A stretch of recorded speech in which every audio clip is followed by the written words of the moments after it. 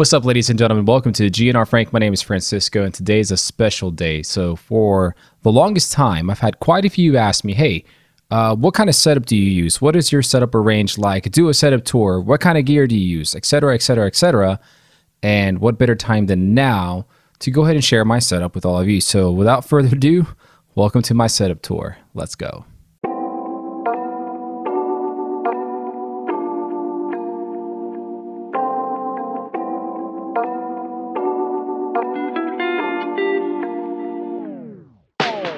All right, ladies and gents. So here's the deal. I'm going to walk you through my setup and my my gaming slash streaming slash podcasting setup, all the equipment that I use. I'm going to let you know how much they cost me for a grand total cost at the end of the whole video. Now, a couple of things that I want you to keep in mind. Okay, number one is I accumulated all this gear over the years of me doing content creation. I started at the release of the PlayStation 4, so I've been at it for about like six or seven years now. Okay. Uh, number two, some of these things uh, are pieces of equipment that you might actually really and urgently need. And some of this stuff you may not necessarily uh, you don't necessarily need immediately. There are more important things to get. We can talk we can talk about that at a different time. Um, number three is I'm going to include links for every single product that I use in the description of the video below. So if you decide there's something that I have that you want to buy, go ahead and do so. Full disclosure, I am a member of the Amazon Associates affiliate program. So if you click those links to make those purchases, you're actually supporting me and the channel because I do get a small portion of the purchase. So if you do that, awesome. If you don't do that, no big deal. You're not obligated to, but I figured I'd let you know. So let's go ahead and start. So I'm going to start with probably uh, one of my most important pieces of equipment, one of my favorite pieces of gear is my microphone. And this, ladies and gentlemen, is the Rode Procaster microphone. It ran me $229. This right here is the best microphone I have ever used to date. This is a dynamic broadcast microphone. It is absolutely amazing. It's beautiful. It sounds great. It is heavy as hell. You can use it to hurt somebody if you wanted to, which I do not recommend or condone but you can do it if you needed to. And along with it, because it is a dynamic microphone, it does need a little bit of help in the gain department. So I went ahead and picked up a FetHead for it too, which is a, a preamp, basically, if you will, uh, which cost me $100. So 230 for the microphone, 100 bucks for the FetHead, and right now I have it running through my Focusrite Scarlett Solo audio interface, which ran me about $150 at Guitar Center uh, some time ago. Uh, the boom arm that I have, I don't remember exactly the brand of it, but I also got it at Guitar Center. One of the really cool things about this boom arm is that it has the XLR cable built into the actual arm itself. It's a 10 foot long cord and it's discreetly hidden inside of this metal rod right here. So there's no excessive amounts of cables just hanging around all over the place. Uh, I love this microphone. It is absolutely phenomenal. It does great work. Uh, just the raw sound by itself sounds incredible. And when you're watching this video and most of my other videos, what you hear is a little bit of post processing involved and it sounds phenomenal with some posts. So uh, I love the microphone. I definitely think that this is uh, uh, a great alternative to the Shure SM7B, which is a $400 microphone. But uh, this is how I get my audio, ladies and gentlemen. This is the majority of how I make my audio happen. Now, there are a couple other things that I use for my audio. So this mess of wires right here is my lapel microphone, my lavalier microphone. This is an Insignia branded microphone that I purchased from Best Buy for $49.99. Uh, there are certain situations in which I would use this. Uh, for instance, if you watched my uh, PlayStation 5 pre-order attempt video where I sat outside of GameStop and interviewed the people that were waiting there, uh, I used this microphone. I just simply pinned it right here to the inside of my shirt there you go. You just clip it on right here and boom, there you go. It's a condenser microphone, so it does pick up a lot of noise from all around, which was a great thing to have when I was speaking to other people. Uh, nice little microphone, doesn't have the best quality in the world, but it's got pretty decent quality for what it is uh, required to have in its intended use. Okay, so the other thing that I use for audio occasionally, uh, and which I'm still kind of learning the ins and outs of how to use this properly, is the shotgun microphone right here. And this is the Takstar SGC 598. Uh, typically, you put this on top of a DSLR camera and you can use this to record audio better than the onboard camera microphone, right? Okay, so in order to use this Takstar microphone, what I've actually gotten is I've gotten a microphone boom stand off of Amazon for roughly 20 bucks. The Takstar microphone actually cost me $30 and I got a 10 foot extension audio cable, which was about 10 bucks as well. So altogether, uh, the whole package cost me roughly about $70 after shipping and handling. So in order to use this with my recordings, which I have a few times now, basically you set the whole setup outside of the frame of the camera by elevating this up about as high as it can go, tightening it up, maybe adjusting it down like this a little bit, right? And it's gonna show in here, but typically the result would be something along the lines of this, where the microphone is kind of aiming down towards my mouth or the audio source and we're good to go. Okay, ladies and gentlemen, so one of the things that I'm known for as far as my YouTube channel is concerned is my headset reviews. That's pretty much been the main form of content that I've been able to do that's been pretty successful as far as my channel is concerned. So, of course, that means that I have a gaming headset that I use. Uh, occasionally, I do kind of rotate them in and out. I actually have another one on the way today that I'll be reviewing shortly. But as of right now, the headset that I'm using and one of my favorite headsets to date is the the Razer BlackShark V2 headset right here. Now this little thing right here ran me about 100 bucks. Okay, I've got this from Razer's website. The I think about a week or so after it came out. Uh, it is it is hard to describe what this headset is because it has the the it has the ear cups of an open back headset, but it delivers the sound of a closed back headset. And basically, what this means is that uh, the ear cups usually when they're cloth ear cups, uh, I'm sorry, the ear pads usually when they're cloth material, uh, they're open back, which means that sound can easily get in and easily get out of your headset, right? Basically making your sound stage a lot better and you're able to hear better directional cues. However, closed back headsets are typically the ones that you see with the leather or pleather ear cups or ear pads, I'm sorry.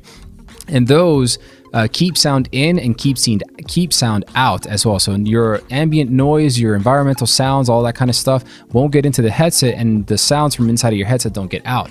Usually, those headphones produce much better bass. Uh, this little headset right here is, I think, what I would be willing to call almost a hybrid of the two. And it also has a really damn good microphone. It's probably one of the best microphones I've seen on a gaming headset before. Uh, very comfortable and it just sits perfectly on my dome at all times when I'm playing, creating content, or just watching uh, YouTube videos or Twitch streams while I'm using this to listen to it all.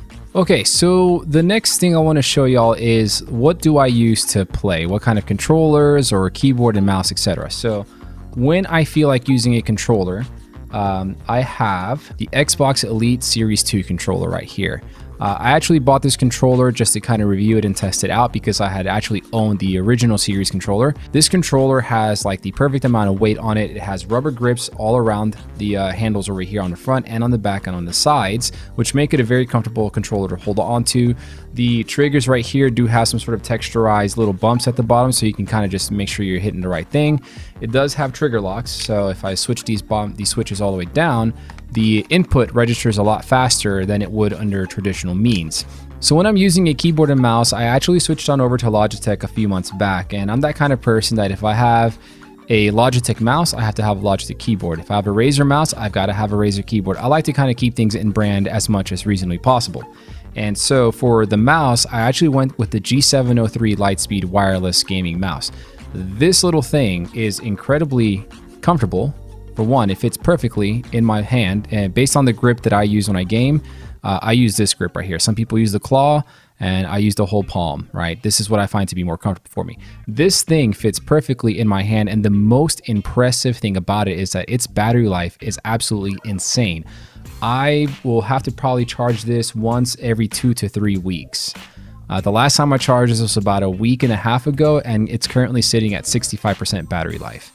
Uh, I love this mouse. It's incredibly responsive. I, I, I, don't even notice any sort of latency with it being a wireless mouse whatsoever. On top of that, I actually also own the G513 mechanical keyboard from Logitech. Uh, it's just a standard issue mechanical keyboard. I really couldn't tell you much about what kind of switches they use. It's a nice, sleek looking keyboard. It matches up the uh, light setup that I have with the mouse. You can sync everything with the Logitech software. It's very responsive. It's nice and clicky, but it's not too clicky. And it is very comfortable to use. I love it. I love it. I love it. All right, ladies and gentlemen. So when it comes to my displays and what I use to actually watch content or play video games or what have you, and how I, I guess you could say produce, is I have a dual monitor setup. So the monitor on the right, right over here, is a standard 1080p Dell monitor. I believe it is a 24 inch monitor that I got at Best Buy for about $150. This is the monitor that I use when I have OBS running, when I have Twitch open, if I'm looking at analytics while I'm streaming or anything like that. It's a secondary monitor. It's just there for efficiency and productivity, if you will. Uh, the monitor right here in the middle, this is my gaming monitor. So this is actually an LG 4K monitor that um, that we got three or four years ago as part of a Valentine's Day gift for my wife. Uh, the, the monitor ran us about $500 and I have used it religiously ever since. It does not have HDR, but it is 4K. It is a beautiful monitor still to this date. Everything that I play looks absolutely crisp and clean on this thing without the HDR, of course. The black bar that you see right there is an LG soundbar. When I'm not using my headset, because sometimes I just don't feel like wearing one, I listen to all of my audio through the soundbar itself which actually delivers some pretty good sound. Doesn't have the best bass in the world, but uh, you don't really need bass for this kind of stuff at all times. So the LG monitor right there in the middle is a 27 inch monitor. It is the perfect size for what I want to do. The other piece of equipment that I have that's one of my favorite pieces of gear is the Elgato Stream Deck right here. And this little thing is probably one of the most important, one of the most facilitating pieces of equipment that I have. It cost me $129 at Best Buy back when I bought it.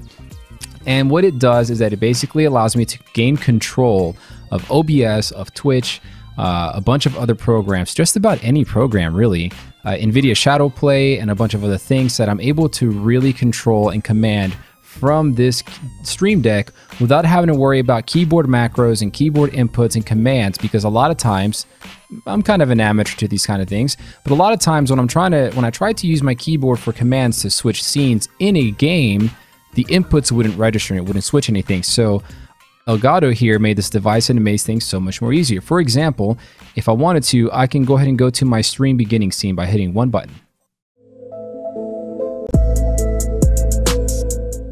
Scene. I hit another button and there you go. I think OBS updated recently because all my stuff's jacked up again. That's okay. And let's say I need to take a break and step away for a moment. I just simply hit another button. I go to my BRB scene.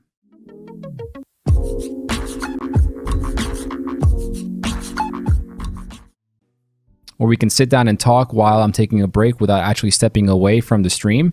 And then finally, once things are over and I'm ready to wrap up, I just hit one more button right here.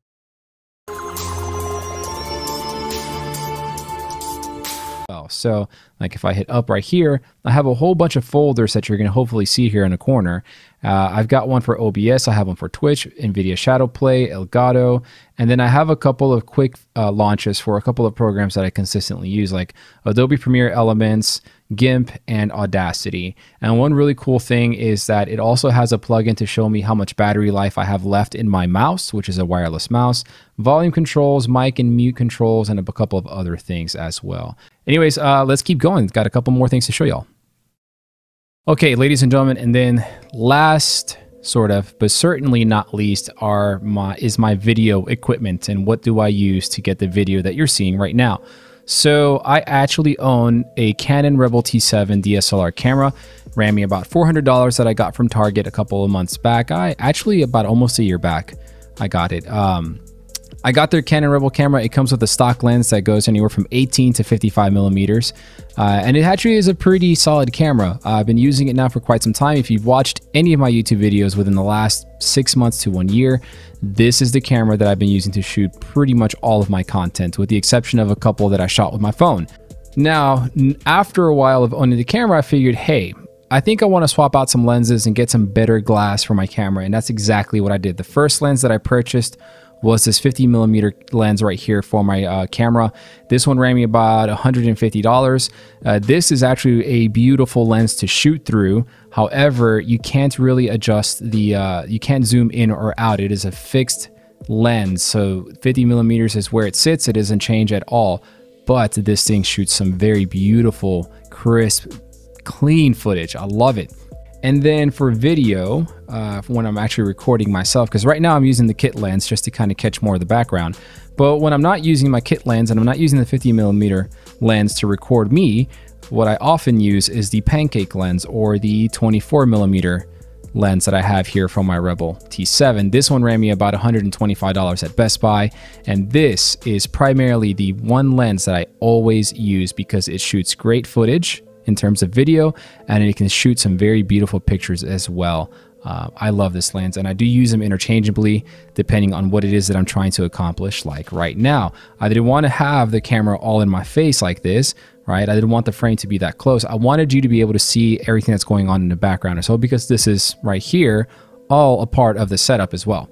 All right, ladies and gentlemen, we are practically down to the very last piece of equipment. The one piece that binds us all, my computer.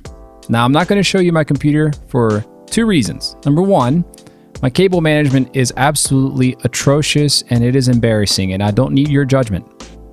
Besides, I'm also in the process of buying a house, and when I move into the new house with my wife and my babies, I'll take care of my cable management. I promise I'll send you pictures just so you can validate. The other reason I'm not going to show you my PC is because it's actually located underneath my desk. It is not sitting on my desk. You see, a lot of times you're going to see streamers and YouTubers who have their computers on the desk. And chances are you probably have your PC on your desk as well.